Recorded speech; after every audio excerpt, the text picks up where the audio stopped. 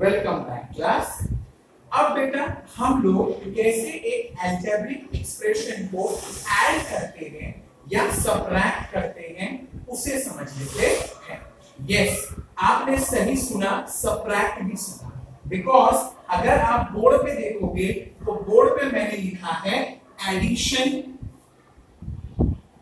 Adding और add correct तो जब बेटा हम सब्ट्रैक्शन में जाएँगे ना तब ये बन जाएगा सब्ट्रैक्शन सब्ट्रैक्टिंग एंड सब्ट्रैक्ट कहने का मतलब जो एडिशन के रूल्स हैं, वही सेम रूल्स सब्ट्रैक्शन के लिए भी लागू होते हैं.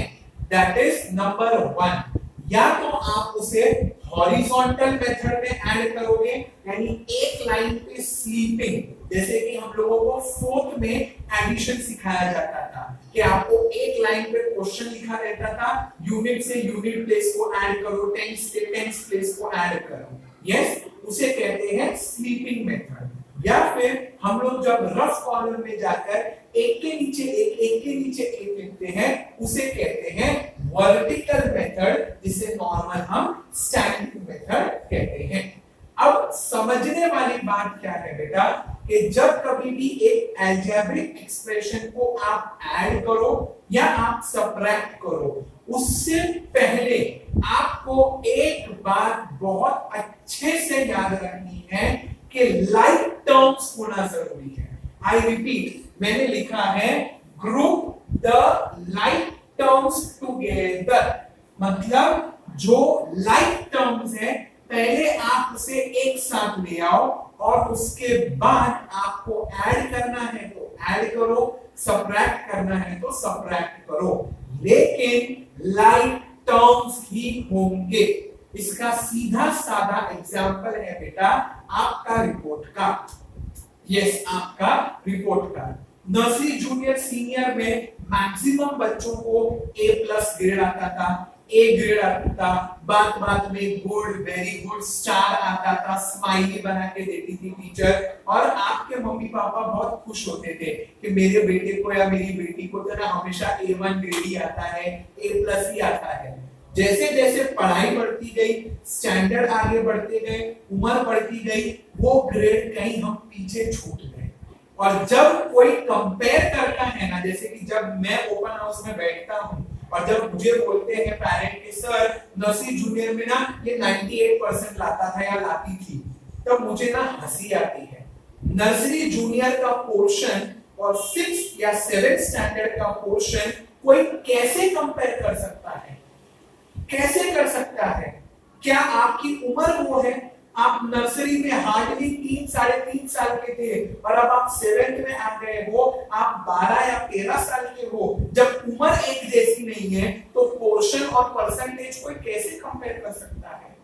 इन शॉर्ट अगर आपको ऐड करना है तो लाइक टर्म्स सब्ट्रैक्ट करना है तो लाइक टर्म्स अगर आपको अपना ही रिपोर्ट कार्ड कंपैरिजन करना है तो सेवेंथ का पहले टर्म के ग्रेड को दूसरे टर्म के ग्रेड से कंपेयर करो। सिक्स का भी रिपोर्ट कार्ड कोई काम का नहीं है यहाँ पर। बिकॉज़ सिक्स में आपको 40 मार्क्स की एग्ज़ाम होती थी रिटर्न सेवेंथ में 50 मार्क्स की एग्ज़ाम होती है रिटर्न में। इसीलिए पागलपन मत करो। अपना कंपटीशन अपने आप से है और अपनी प्रीवियस परफॉर्मेंस के साथ कंपेयर करना हमारे लिए टॉप प्रायोरिटी होना चाहिए।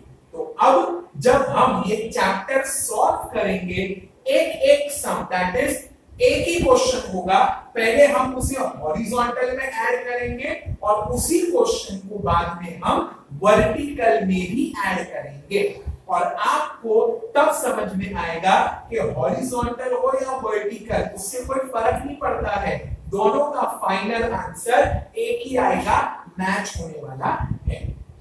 दूसरा, भले चाहे आप एडिशन कर रहे हो तो एडिशन एडिंग एंड और यही जब हम सब्ट्रैक्शन में जाएँगे तो सब्ट्रैक्शन सब्ट्रैक्टिंग सब्ट्रैक्ट ये हो जाएगा। बाकी कुछ चेंज नहीं होने वाला है।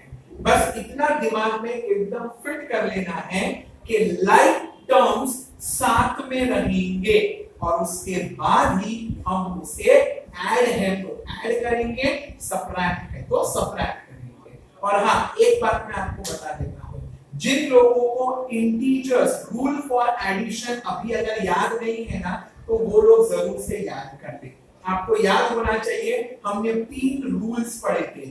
When both the numbers are positive put plus sign and then add the numbers rule number 2 when both the numbers are negative put minus sign and then add the number and rule number 3 when one number is negative another number is positive put the sign of greater number and then always subtract the numbers ये तीन rule आपको अपनी जबान पर होने चाहिए।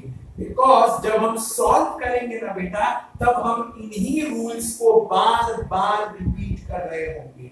इसलिए अच्छे से इन रूल्स को आप एक बार रिवाइज कर लो। पॉइंट्स टू रिमेंबर एक न्यू पेज लेकर आप इसे कॉपी कर लो और फिर इसके आगे वाले वीडियो से हम हर एक सम को पहले हॉरिजॉन्टल में ऐड करेंगे और बाद में वर्टिकल में ऐड करेंगे क्लियर